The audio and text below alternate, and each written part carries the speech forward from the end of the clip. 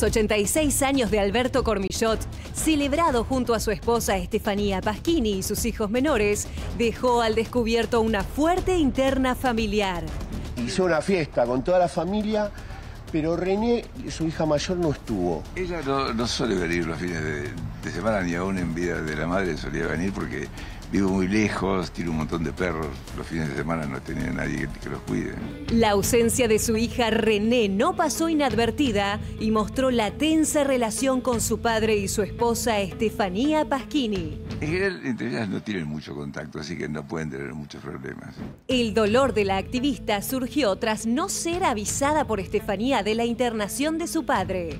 Las últimas tres internaciones de mi papá yo me las enteré por los medios. Wow. Ah. Y nosotros somos, éramos una familia muy unida. Eran. Éramos una familia muy unida. Mi mamá se murió hace siete años Sí. y ella era la que unía mucho a la familia. Estefanía reveló que la hija mayor de Cormillot no tiene vínculo con su hijo Emilio. Porque sos todo en esta vida. Ayudás sin importar a quién, sin importar si lo conoces. Sos bondadoso, no te enganchás con ninguna, olvidás, perdonás, dejás pasar porque jamás está en vos la pelea o lo que sea. Amás con toda tu alma. Reclamos, interna, falta de comunicación y una grieta familiar que parece no tener límites. Y como todas las familias, tiene, sus cosas. ¿Conoces alguna familia que tenga sus cosas? Amo a Corbillot, viste que es... Es lo eh, más. sí, sí, sí, correcto. sí, Es correcto, como dice, bueno, reconoce, como todas las familias tienen sus cosas. Estamos con- en Zoom con René Cormillot, a ver qué nos va a contar. Bienvenida, René, ¿cómo estás? Hola, Mar- ¿qué tal, Marcela? ¿Cómo andás? Marcela y el equipo Felici- acá de... felici- feli- y el equipo, está bien, Todos. perdón. No, Felicitaciones no, por te- el premio el otro día. Gracias, René. Qué lindo lugar donde estás. Bueno, contame un poquito de esta interna... eh, Tuviste muy clara lo que dijiste, hace siete años falleció tu mamá y era la que unía a la familia, ¿no?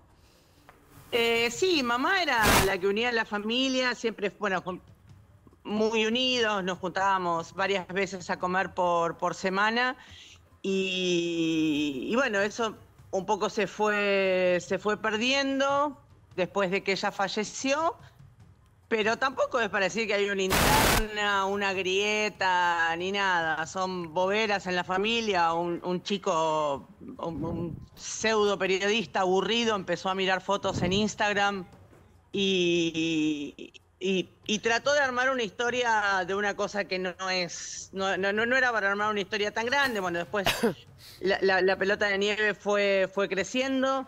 La verdad que mi viejo labura en la tele hace más de 60 años. eh, la familia siempre que estuvo presente en la tele fue de parte de mi papá y de mi hermano como médicos, por su labor como médicos, como comunicadores sociales por el bienestar de la gente, por la vida.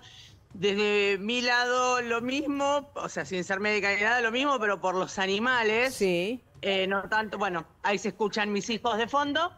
Eh, pero no, sie- siempre fuimos una familia reservada, tranquila. La verdad que no, no es esto lo que nos gusta. Entonces, René, me Eh, parece interesante eh, lo que estás diciendo. Primero estaría bueno saber quién fue el que armó esta historia, porque no está bueno la gente cuando inventa, porque mira el bolonqui que arma, que vos estás diciendo que pareciera ser que no es tal.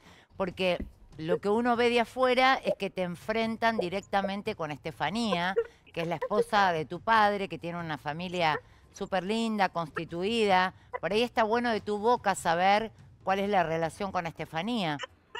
Mira, eh, ella es, es millennial, es más mediática. Nosotros no, no, no, no estamos en eso, no es lo que nos interesa.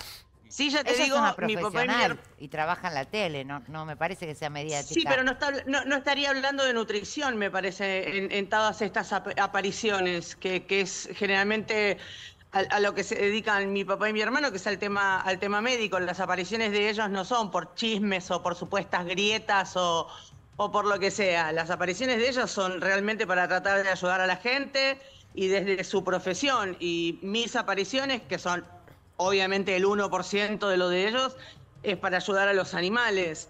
Pero No, no, nunca del tuvimos un ex- conflicto familiar, te lo digo con respeto. Me parece también que Estefanía, cuando hay lío, es como la que se pone, ¿no? Como la, la prensa al hombro, digamos, y pone ella la cara por el resto de los integrantes, ¿no te parece? Viste que lo han atacado mucho a tu papá, a ella. nunca contestamos. eh, nuestra costumbre era no contestar y dejar que las noticias tontas mueran por sí solas. ¿Para qué contestar algo que no tiene validez? O sea, no, no, no, no tiene valor una Pero, nota a ver, hablando de lo. René, discúlpame, no, no me queda claro. Con Sí. Estefanía, ¿tienen trato o no? ¿O poco? No, yo dejé de tener trato cuando pasó lo de las internaciones de mi papá. Ajá. La primera internación de mi papá, yo me entero, me entero por los medios, eh, por las notas de los animales, me han quedado productores agendados. Y, y- de repente me entra un mensaje de un productor, no sé qué, y viste, cuando yo me pongo contenta, digo, bueno, me van a dejar hablar por, por, por los animales. Y de repente no, me dicen, ¿qué le pasó a tu papá? ¿Viste? Como perdón. Y tenés que empezar a, a- a- a- a tra- a tratar de- de averiguar qué pasó. Obviamente mi viejo no va a contestar el teléfono porque lo están internando. Eh, René, ¿y pero ¿cuál fue? tampoco, tampoco me divierte empezar a contestar las Claro, cosas, porque ella dice, entiendo. no, no me dijo nada, sí, me dijo. La verdad que es, es tan aburrido, gente, es tan aburrido ese, René, ese tipo de... Imagino Sí. que, a ver, es muy delicado porque me hablas de la internación de tu padre, es un hombre mayor, la preocupación, ¿cuál fue tu reacción para con ella cuando te enfrentás en una sala de espera de un hospital y ella no te avisa? ¿Por qué no avisaste? Claro. ¿Qué te contesta? O sea, nada, preguntarle, ¿cómo no van a avisar? La respuesta fue que, que- que, bueno, que estaba, estaba ocupada viendo que lo internaran o no sé qué, pero eh, lo que a mí me molestó fue que después aparecieron capturas de pantalla donde tres horas antes ella ya estaba hablando con los medios y, y dando la información y, Y no con vos. o confirmando la información y nosotros no, no sabíamos. ¿Y Adrián qué papel juega en todo esto, tu hermano, que trabaja con tu papá y con ella? Yo por Adrián no puedo hablar, sí puedo decir que Adrián también se enteró por los medios. Lo que sí puedo decir es que tanto mi papá, mi hermano como yo siempre fuimos reservados de nuestra vida, de nuestra vida privada. Lo único que queremos es volver a eso. Eh, no me interesa seguir contestando porque la verdad que también hay que resguardarla a ella. Está pasando por un momento muy, muy vulnerable con su, con su Papá. papá. Eh, sí, mi hermano y yo sí elegimos cuidar a nuestro papá y respetarlo como lo hicimos siempre, que fue no hablando de las cosas. Tampoco tenemos una guerra así como Claro. familias que se matan Sí, y sí, que sí. discuten y qué sé yo. ¿Pueden Ella compartir una que- cena, por ejemplo, con ella, un almuerzo, con tu hermanito?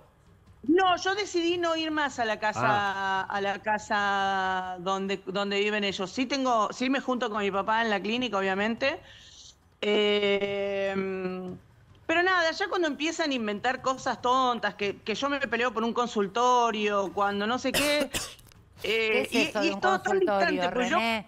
Ahí me- eh, alguien ¿Cómo? me escribe que cuando estuvo internado tu papá hubo ahí como un episodio de un tema de, de- de papeles o, o de la futuro, lo que puede llegar a pasar. ¿Me podés explicar vos que si es verdad que existió? no tengo, ese no tengo idea de qué me estás hablando, de qué papeles. No, no lo sé. Como La- que la- la- habría habido... Cuando entras a una internación, firmás el, el permiso de internación, hablo, lo tienes. Claro, no, no hablo de eso, sino de la posibilidad, cuando alguien está internado y si llegase a pasar algo a futuro, digamos, quién queda en cada lugar y con qué. ¿Se entiende? ¿Hubo algún Herencia, No, espera. ¿me estás hablando de la herencia? Podría ser, ¿Me entre estás hablando de-. Podría ser. Eh, mira, te cuento, es una obsesión de ella el tema de la plata, porque nosotros, los Cormillot, hace muchísimos años tenemos economías separadas. Eh, cada uno tiene lo suyo, lo de mi papá, obviamente corresponde a, a Estefanía y a Emilio. Lo mío, como yo no tengo familia, corre, yo elijo que, que corresponda a mis sobrinas y lo de mi hermano corresponde a... a- ¿Por qué decís que es una a mis obsesión sobrinas. de ella? ¿Por- Porque ¿Cómo no lo sabes? qué saca el tema. Lo está matando a mi papá en vida hablando de una herencia, por Dios. Bueno, no entiendo por qué piensa tanto en una herencia. O sea, yo ni pienso que mi papá se va a morir y, y- y ella vive hablando de herencia. Lo, lo escuché varias veces y la verdad que me aterra que hable así. ¿Qué está esperando que papi se muera? No, no, yo no lo ¿Por sé por habla boca de- ella esto. Esto es alguien que a mí me comenta que habría habido un No, a mí- episodio cuando él estuvo internado. cuando han... Eh, no, no hubo ningún episodio porque la verdad que uno va de visita y se va, no, no hay episodio Claro. de nada, tampoco, no sigan inventando, por Dios, porque realmente agota. No, por eso te Agota la capacidad de invención de la gente. a, a mí me agota la capacidad de invención de la gente. Eh, mm, no, no se habla de herencia, no hay una herencia, o sea, tenemos economías separadas. Ok. René, ¿te Y la hacer una herencia de mi consulta? papá es claramente de ella y del, del hijo, Para aclarar de- algo. del hijo de ellos dos. Para aclarar ¿Qué? algo nada más, porque acá me escriben para aclararlo y que lo aclares vos. ¿Es verdad que vos y, y Adrián le pidieron a tu padre que firme un contrato prenupcial? Jamás, Perfecto. jamás. ¿Cómo le vamos a pedir nosotros que firme algo? Estamos todos... Gente, paren de mirar dinastía, por Dios. Pero vos estabas de acuerdo con el casamiento.